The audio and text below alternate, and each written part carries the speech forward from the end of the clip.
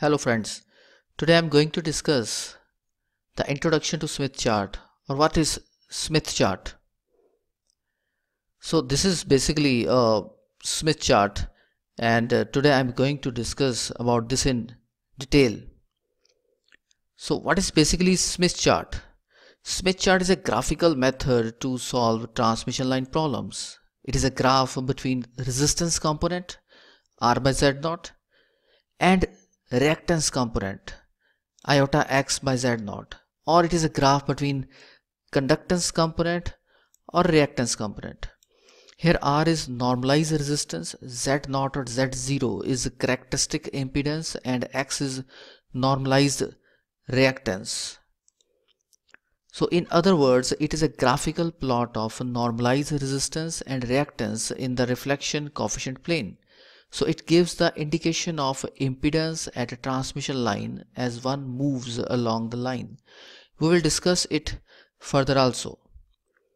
Why impedances are always normalized in Smith chart? I have used the word normalized. Impedances are always normalized with respect to characteristic impedance Z0 in Smith chart to avoid construction of one chart for each Z0. Therefore, normalized load impedance is given by Zn equals to Zr by Z0 equals to R plus iota x. I have already explained these terms that is Zn, Zr, Z0, R and X in my previous slides. Construction of Smith chart. Smith chart consists of two types of circles.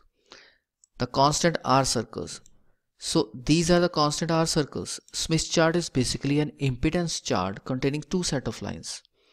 The first set of lines referred to as constant resistance lines form circles all tangent to each other at the right hand of a horizontal diameter.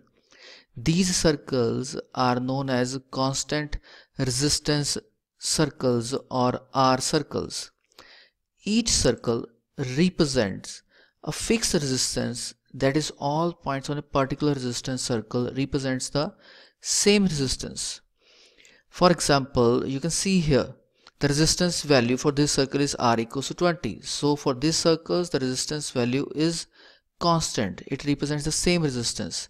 The resistance values which these constant resistance circles represent are marked on the horizontal diameter at the point of intersection of these circles and the horizontal line the outermost resistance circle cutting at the horizontal line on the extreme left represents zero resistance while the circle cutting the horizontal line on the horizontal line on the right extreme right extreme represents infinite resistance. So it is infinite resistance then resistance will decrease and here it is it is zero resistance so zero resistance means the current will be will be will be very very high.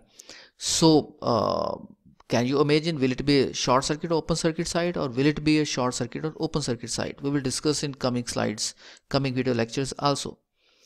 The constant x circles.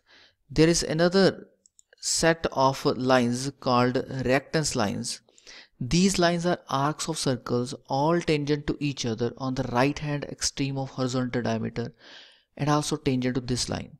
These circles are known as constant reactance circles. The lines in the upper half represent positive reactances. Upper half, these are the upper half lines, arcs. These are the uh, positive reactances. While the these are the positive reactances these are the positive reactances while these are the negative reactances. The reactances have also been normalized with respect to z naught. So the complete smith chart is obtained by superposition of two sets of x circles that is reactance circles and r circle that is resistance circles. So here you can see a complete a complete smith chart. This is the complete smith chart. Here you can see these are the constant r circles. Many constant r circles and having certain values. For example 12 is there I think so this is uh, 0.3 is there this is 0.4 is there. These are the constant r circles. And at the same point these are the constant x circle these arcs.